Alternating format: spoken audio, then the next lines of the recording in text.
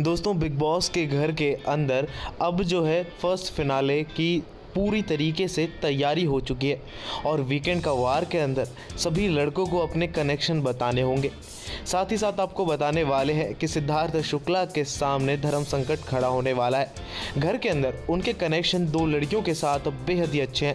पहली तो है आरती और दूसरी है सैनाज गिल, जहाँ आरती के साथ उनके कनेक्शन शुरुआत से ही अच्छे रहे हैं और आरती और उनके बीच कभी कोई मतभेद नहीं रहा। वहीं सैनाज गिल के साथ भी कुछ ऐसा ही है। शहनाज गिल के साथ भी उनका कोई मतभेद नहीं रहा, जहाँ पर एक दूसरे के साथ अच्छा बॉन्ड शेयर करते हुए नज़र आते हैं सिद्धार्थ शुक्ला और शहनाज गिल।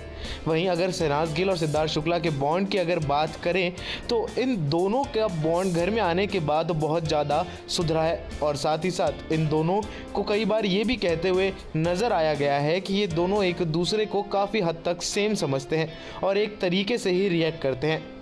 वहीं आरती सिंह की अगर बात करें तो इनकी काफ़ी पुरानी दोस्ती भी है। आरती सिंह घर के बाहर से ही सिद्धार्थ शुक्ला को जानती है और इससे पहले इन दोनों के र्यूमर्स भी उड़े थे कि इन दोनों के बीच में कुछ ना कुछ लव एंगल ज़रूर है। हालाँकि घर के अंदर ऐसा कुछ देखा नहीं गया, लेकिन सिद्धार्थ शुक्ला के सामने आज बड़ी संकट खड़ी होने वाली है। वहीं घर के अंदर सिद्धार्थ शुक्ला के अलावा आसिम रियाज भी हैं, जिनके कनेक्शन इन दोनों ही लड़कियों से अच्छे हैं। यानी कि घर के अंदर ये दोनों ही लड़कियाँ आज सेफ़ होने के पूरे के पूरे चांसेस हैं। क्योंकि इस बार का जो गेम है, वो कनेक्शंस का गेम है। सलमान खान ने शुरुआत में ही कहा था कि घर के अंदर कनेक्शन बनाओ। अगर कनेक्शन नहीं तो आप फिनाले के आगे भी नहीं। और अब कनेक्शन जिन लोगों के बने हैं, वो तो फिनाले में पहुँच गए। हम बात कर रहे हैं पारस और माहिरा की। चाहे माहिरा टॉप सिक्स में हो या ना हो, लेकिन फिर भी वो फिनाले में जा चुकी हैं।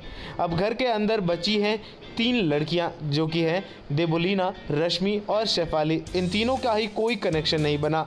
हालाँकि शेफाली का कनेक्शन सिद्धार्थ दे थे, लेकिन वो एविक्ट हो गए। अब घर के अंदर कौन किसे चूज़ करेगा? सिद्धार्थ शुक्ला किसे चूज़ करेंगे और आसिम रियाज किसे चूज़ करेंगे? कमेंट करके अपनी राय ज़रूर बताएँ। सब्सक्राइब करें, खेलो खेलो, जुड़े रहे हमारे साथ, क्योंकि यही मिलती है आपको बिग बॉस से जुड़ी हर खबर सबसे पहले।